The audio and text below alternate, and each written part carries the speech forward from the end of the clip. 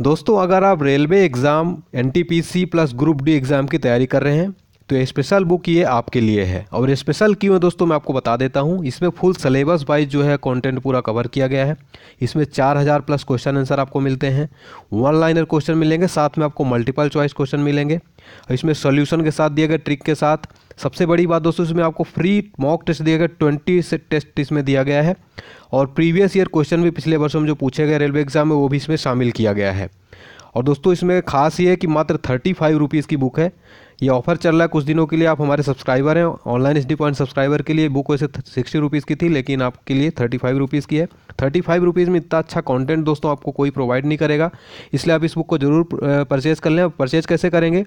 इस वीडियो के description box में आपको लिंक मिल जाएगा, उस लिंक पर क्लिक करके आप परचेज कर सकते हैं, और ये बुक आपको हिंदी और इंग्लिश दोनों लैंग्वेज में मिल जाएगी। तो आपको जो भी लैंग्वेज रहे, वो आप देख सकते हैं, हिंदी प्लस इंग्लिश में काफ़ी अच्छी बुक है।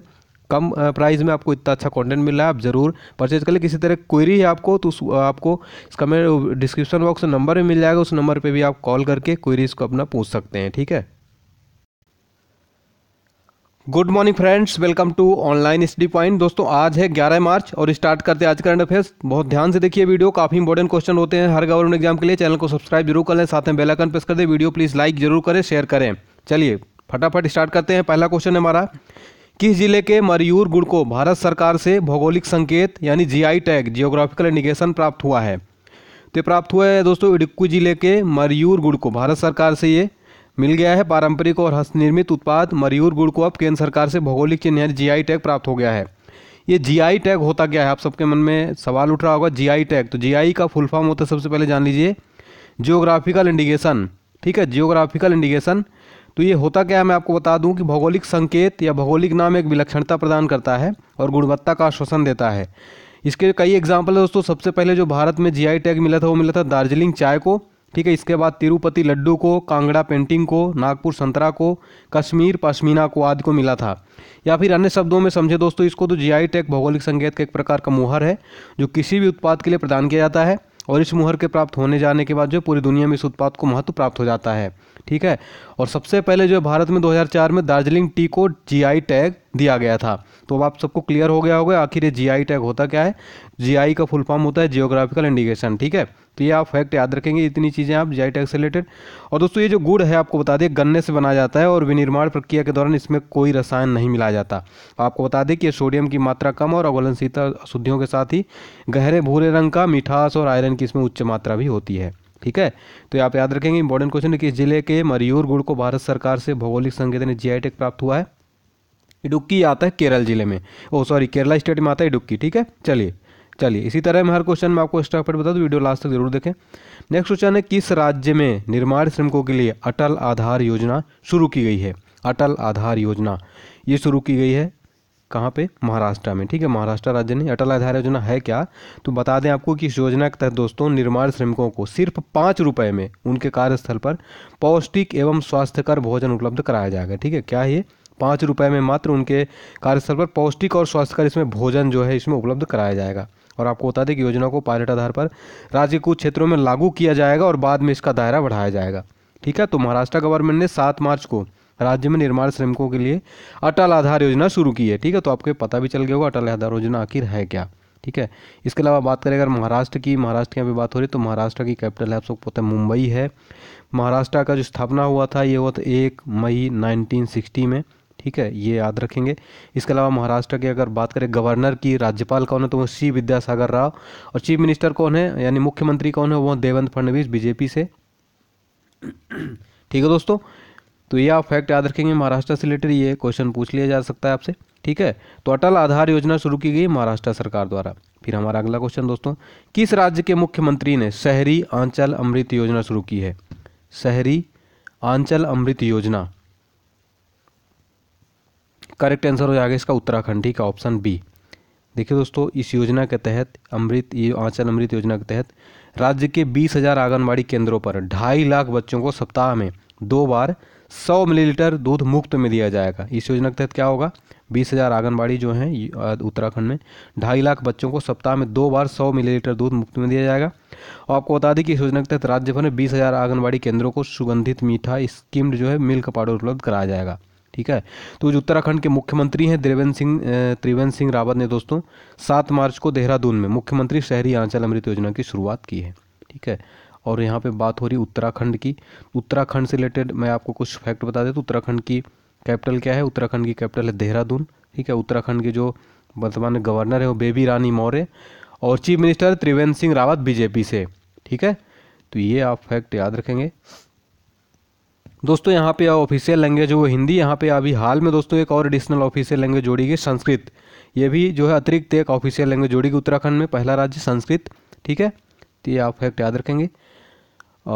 ठीक है? चलिए एनिमल की अगर बात करें तो वो है एलेपी मस्क डियर और वर्ड है यहाँ पे हिमालयन मोनल, ठीक है? फ्लावर की बात करें, यहाँ का जो राज्य उत्तराखंड का पुष्प क्या है? राजकीय पुष्प तो है ब्रह्मा कमल ब्रह्मा कमल, ठीक है? तो ये आप याद रखेंगे। चलिए, अगला क्वेश्चन देख लेते हैं दोस्तों क्वेश्चन नंबर फोर्थ है किस राज्य ने युवा श्री अपर्णा योजना शुरू की है? युवा श्री अपर्णा योजना।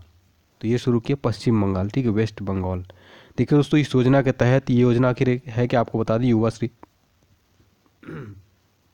युवा श्री अपर्णा योजना। तो इस योजना के तहत दोस्तों, राज्य में पचास हज़ार युवाओं को उद्यम स्थापित करने हेतु एक लाख रुपए की वित्तीय सहायता दी जाएगी इसमें। क्या दी जाएगी, इससे पूछा जा सकता है, युवा श्री अपहरण योजना में कितनी वित्तीय सहायता दी जाएगी? तो पचास हज़ार युवाओं को उद्यम स्थापित करने के लिए एक लाख रुपए तक की इसमें जो है वित्तीय सहायता दी जाएगी। आपको बता दें कि राज्य सरकार का सूक्ष्म लघु और मध्यम उद्यम विभाग ने इस योजना का वित्त पोषण करेगा। आपको बता दें कि 6 मार्च को पश्चिम बंगाल में युवा श्री अपहरण योजना की शुरुआत की गई थी, ठीक है?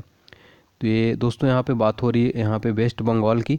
वेस्ट बंगाल के रिलेटेड आपको बता दें कुछ करंट अफेयर्स के क्वेश्चन तो राजधानी तो आप सबको पता है, कोलकाता है, ठीक है? और अगर बात करें वेस्ट बंगाल पश्चिम बंगाल के गवर्नर की तो है केसरीनाथ त्रिपाठी और चीफ मिनिस्टर है ममता बनर्जी। ठीक है? ममता बनर्जी यहाँ की चीफ मिनिस्टर हैं, ठीक है? तो ये आप याद रखेंगे ऑफिशियल लैंग्वेज यहाँ की बंगाली और इंग्लिश ठीक है? चलिए तो ये फैक्ट आप याद रखेंगे, युवा श्री प्रेरणा योजना पश्चिम बंगाल राज्य ने। अगला क्वेश्चन है दोस्तों, कौन सा देश अंतर्राज्य, अंतर्राष्ट्रीय आपराधिक न्यायालय का एक सौ सदस्य बन गया है? अंतर्राष्ट्रीय आपराधिक न्यायालय का एक सौ सदस्य बन गया मलेशिया, ठीक है? देखिए दोस्तों, आपको बता दें कि अंतर्राष्ट्रीय अपराध न्यायालय। एकमात्र स्थायी युद्ध अपराध अदालत है और इसका उद्देश्य राष्ट्रीय अदालतों के असमर्थ या अनिच्छुक होने पर सबसे दूर जो है बुरे दुर्व्यवहार का मुकदमा चलाना। ठीक है? बात करें अगर मलेशिया की तो राजधानी कोलालमपुर उसकी जो करेंसी है वो है मलेशियाई रिंगगिट। ठीक है? करेंसी है रिंगगिट और राजधानी कोलालमपुर ठीक है? तो मलेशिया जो है अंतर्राष्ट्रीय अपराध न्यायालय का एक सौ सदस्य बन गया है। नेक्स्ट क्वेश्चन है, किसने Green Era awards for sustainability पुरस्कार जीता है? Green Era award for sustainability पुरस्कार जीता है टीवीएस मोटर ने, ठीक है? टीवीएस मोटर, ठीक है? देखिए दोस्तों, इसने जो है गुणवत्ता और व्यवसाय उत्कृष्टता पुरस्कार भी जीता है। आपको बता दें पुरस्कार फ्रांस में अन्य मार्ग प्रबंधन और परामर्श के अनुसंधान टीम को निष्कर्ष पर आधारित है और चुनी गई कंपनियों के निवेश के आकर्षण उच्च प्रौद्योगिकियों और प्रबंधन विधियों जैसे मानदंडों के तहत रैंक दिया गया है, ठीक है? तो आपको बता दें टीवीएस मोटर कंपनी ने चार मार्च को पुर्तवाल के लिस्बेन में Green Era award for sustainability जीता है, ठीक है? यहाँ पे बात हो रही टी वी एस मोटर की तो आपको बता दें दोस्तों टी वी एस के जो फाउंडर हैं, वो टी वी एस लेंगार हैं, ठीक है? का नाम ही है टी वी सुंदरम, ठीक है? T V S T V Sundaram. इसका हेडक्वार्टर है टी वी एस कंपनी का, चेन्नई, तमिलनाडु में। कब फाउंडेड हुई थी, स्थापना कब हुआ था इसका टी वी एस कंपनी की 1978 में इसकी स्थापना की गई थी, ठीक है? इसका प्रोडक्ट है motorcycles scooters three wheelers vehicles and spare part जो है बनाती है कंपनी ठीक है? तो Green Era awards for sustainability पुरस्कार टीवीएस मोटर ने जीता है। अगला क्वेश्चन देख लेते हैं। किस देश ने प्रतिष्ठित अंतर्राष्ट्रीय golden city gate tourism award दो हज़ार में टीवी सिनेमा स्पोर्ट की श्रेणी में पहला पुरस्कार जीता है? तो जीता दोस्तों इंडिया, भारत। ठीक है? देखिए दोस्तों, आपको बता दें पर्यटन मंत्रालय, भारत सरकार ने प्रतिष्ठित अंतर्राष्ट्रीय golden city gate tourism award दो हज़ार उन्नीस में टीवी, सिनेमा, स्पॉट की श्रेणी में पहला पुरस्कार जीता है। यह पुरस्कार दोस्तों प्रतिवर्ष पर्यटन एवं आतिथ्य क्षेत्रों से संबंधित विभिन्न श्रेणियों में दिए जाते हैं। आपको बता दें वार्षिक पुरस्कार समारोह का आयोजन दुनिया के प्रमुख पर्यटन व्यापार शो आई बर्लिन में हुआ है, ठीक है? चलिए अगला क्वेश्चन देख लेते हैं। वर्ष 2018 के लिए उत्कृष्ट महिला पत्रकार के चमेली देवी जैन पुरस्कार के लिए किसे नामित किया गया है? चमेली देवी जैन पुरस्कार के लिए नामित किया प्रियंका दुबे को, ठीक है? देखिए दोस्तों, बीबीसी की द्विभाषी संवाददाता जो है प्रियंका दुबे को वर्ष दो अठारह के लिए उत्कृष्ट महिला पत्रकार का चमेली देवी जैन पुरस्कार के लिए नामित किया गया है। और उन्हें दोस्तों, बहुआयामी खोजी पूछताछ संबंधी रिपोर्ट के लिए इस पुरस्कार के लिए चुना गया है। आपको बता दें कि चमेली देवी जैन पुरस्कार पिछले सैंतीस वर्षों से महिला पत्रकारों को निरंतर कार्य के लिए जो है उत्कृष्टता के मानकों को बनाए रखने हेतु प्रदान किया जाता है। ठीक है तो चामेली देवी पुरस्कार, जैन पुरस्कार के लिए किसे नामित किया गया? प्रियंका दुबे, बीबीसी के द्विभाषी संवाददाता हैं। गिनीज वर्ल्ड रिकॉर्ड द्वारा दुनिया के सबसे बुज़ुर्ग जीवित व्यक्ति का खिताब किससे सम्मानित किया गया है? काने तनाका को, ठीक है, ऑप्शन बी। आपको बता दें कि 116 साल की जापानी महिला हैं, जिनका नाम काने तनाका है। जो दोस्तों, इनको गिनीज वर्ल्ड रिकॉर्ड्स द्वारा दुनिया के सबसे बुज़ुर्ग जीवित व्यक्ति के खिताब से नवाजा गया है। उनका जन्म कब हुआ था? दो जनवरी 1903 को हुआ था इनका जन्म, ठीक है? और इससे पहले सबसे बुज़ुर्ग जीवित व्यक्ति की खिताब जापान की एक अन्य महिला, चियो मियाको के नाम था, ठीक है? चियो मियाको के नाम था, जिनका 117 वर्ष की आयु पिछले साल जो है जुलाई में निधन हो गया था दो हज़ार अठारह में, ठीक है?